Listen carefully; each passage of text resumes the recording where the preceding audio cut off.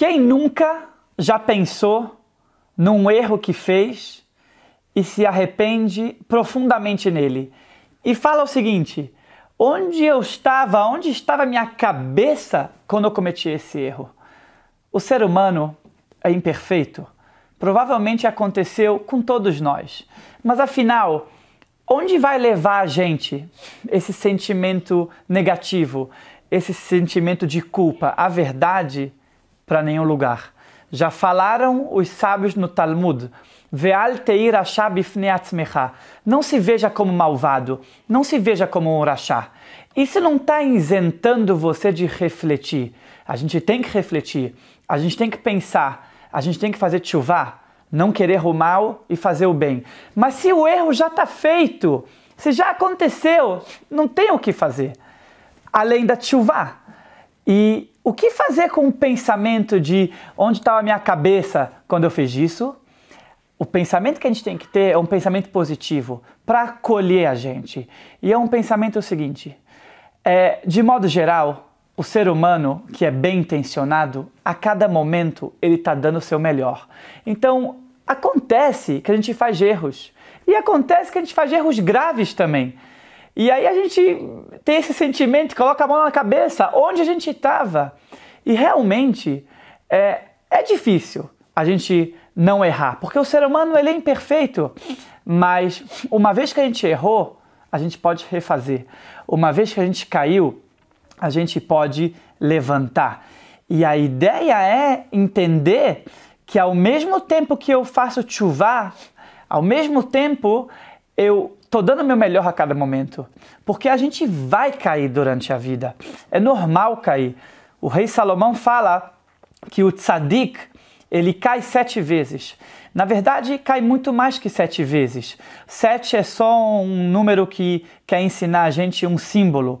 Agora, vocês sabem qual é a diferença entre o tzadik, o justo, e o rachá, que é o malvado? O tzadik ele cai, só que ele se levanta depois da sua caída. O rachá, que é o malvado, ele cai, mas ele fica caído, ele não se levanta. Então a gente tem que ter esse mantra na nossa cabeça: caiu, levanta. Como já falou o profeta, que na falti kamti, quando eu caio, eu me levanto. Agora, afinal, a gente nesse mês de Elul fala tanto de chuvá e já está famoso, já está muito comum, tem que fazer chuvá e se arrepender do passado e tomar uma decisão futura positiva.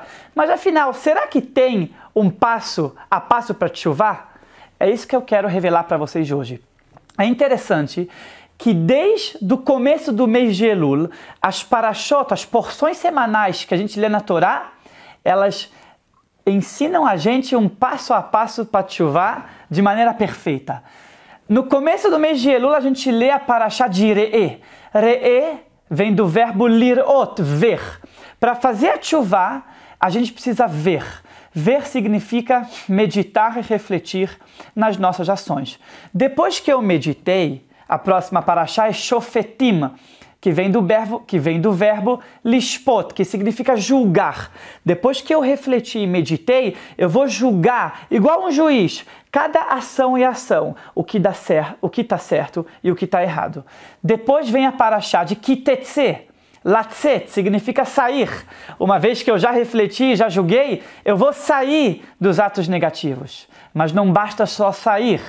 Depois vai ter a parashat kitavó, que significa lavô, vir. Agora que eu saí do lado negativo, eu vou vir para o lado positivo. E aqui agora tem que tomar muito cuidado, porque a gente se costuma se empolgar muito, que é muito bom, que é maravilhoso, só que a gente esquece que a gente tem que amadurecer e consolidar nossas ações. Por isso que a próxima paraxá é Nitzavim. Fica nitzav, fica parado aí, se cozinha, amadurece, se consolida, porque a gente tem vontade de começar a fazer mais de coisas, de mais coisas, mais coisas, mais coisas, de começar a rigorar em milhões de coisas. E como a famosa frase, o que vai muito rápido, ele pode também voltar muito rápido. Então, se a gente começar muito rápido, de maneira imatura, de maneira inconsistente no nosso caminho espiritual, subir muito rápido, a gente pode cair muito rápido. Então, diz a Torá Nitzavim, fica parado. Aproveita o que você tem, amadurece e se consolida antes de crescer mais. Por que crescer mais? Porque na vida a gente tem que sempre crescer mais. Não tem como também ficar a vida inteira consolidando o que a gente faz. Por isso, por isso que a próxima paraxá é Vayeler, andar, caminhar. Porque tem outro problema. Tem pessoas que ficam acomodadas a vida inteira. Eu faço três, quatro mitzvot e pronto. Tá errado também. Tem que ir lalechet, tem que andar, tem que caminhar e continuar na nossa jornada espiritual de Torá e mitzvot de crescimento. Depois, a gente tem que realmente é, pensar o que a gente pode fazer a mais. Porque se a gente já tem esse passo a passo até aqui, que é muito fácil falar, difícil fazer, mas vamos dizer que se Deus quiser a gente vai conseguir com a força de Hashem, com a ajuda de Hashem, com a força da nossa vontade. O que, a gente tem que fazer? Realmente a gente tem que buscar fazer mais. Mas a gente não pode buscar fazer o a mais sozinho.